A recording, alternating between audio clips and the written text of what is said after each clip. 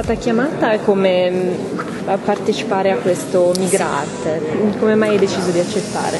Come testimonial innanzitutto, lo, come ho detto anche in conferenza, perché porto un nome eh, che già di per sé ha una storia, perché credo che eh, l'integrazione sia l'unica via possibile per il futuro di Milano e in generale dell'Italia eh, e perché farò tutto ciò che è possibile eh, per me fare per aiutare questo processo in modo che sia il più naturale, il meno violento possibile per tutti. Eh, tu magari prendi, ti capita anche adesso, tu hai parlato della tua esperienza quando eri più, quando eri più piccola, ma mh, mm, prendendo i mezzi pubblici adesso i milanesi come ti sembrano? Mm, nuovi, vedo, un nuovo, vedo, una nuova generazione di milanesi che si sta affacciando all'Italia e ne sono molto contenta. Eh, si è fatto tanto parlare in questi ultimi giorni ovviamente di bruttissimi fatti di cronaca. Certo, tremendi, assolutamente.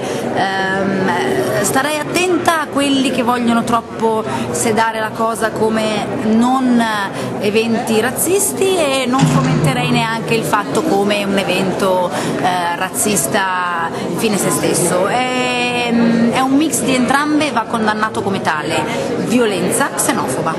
Penso che i media debbano responsabilizzarsi e quando è possibile continuare a ehm, lanciare messaggi positivi e smetterla di eh, fomentare questa rabbia, questa paura soprattutto, paura, smettiamola di, di ehm, mandare paura come messaggio. Diversi sono motivi per cui ho accettato di venire qua oggi, infatti ringrazio ovviamente sia TM sia Denis Curti per avermi chiesto di essere presente. Um, il primo sta nel mio nome. Ho vissuto uh, che cosa vuol dire essere italiana avere un nome che bisogna spiegare. Sono molto onorata di poter parlare oggi della G2, di poter parlare um, di come um, ci si sente italiani pur avendo un nome come questo, di come questo sia il futuro non solo di Milano ma dell'Italia. Ho condotto una trasmissione che vedrete in onda domenica eh, su Rai 3, in cui avevo come ospiti ragazzi della G2, seconda generazione.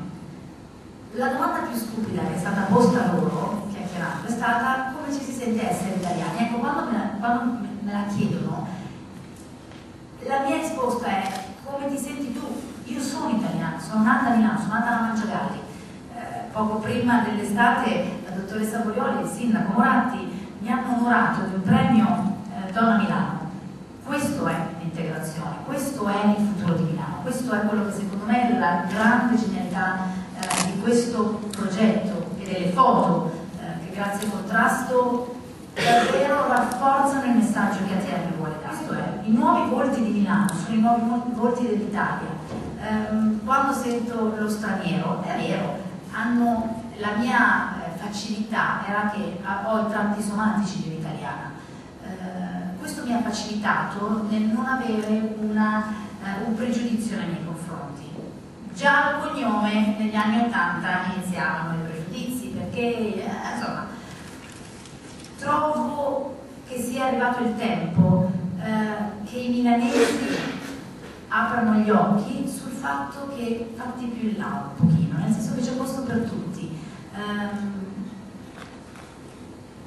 se, è vero, c'è molta paura dietro ad alcuni atti di violenza, dietro ad alcuni gesti di intolleranza, e qua si usa la parola eh, e la uso di proposito. Um, io un pochino eh, la preferisco quando sento la parola tolleranza. Eh, non bisognerebbe parlare di tolleranza a mio parere, la tolleranza ha un'accezione negativa, eh, ti tollero, io non ti devo tollerare, io ti voglio conoscere, sono due atteggiamenti molto diversi.